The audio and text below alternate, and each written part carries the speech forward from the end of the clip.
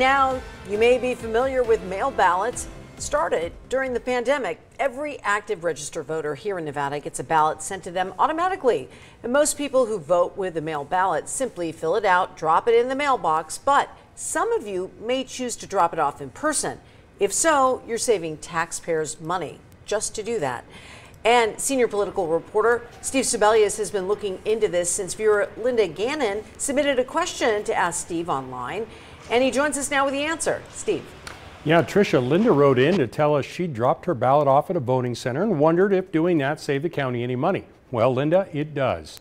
According to the county, more than 129,000 people cast ballots in the February 6th presidential preference primary.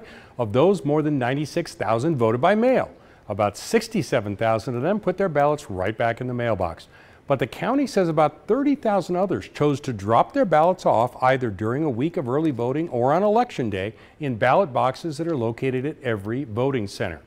Now, it costs Clark County 68.8, 67.8 cents per ballot to get those votes back to election headquarters, which means dropping ballots off saved the county more than $20,300 in the February election alone.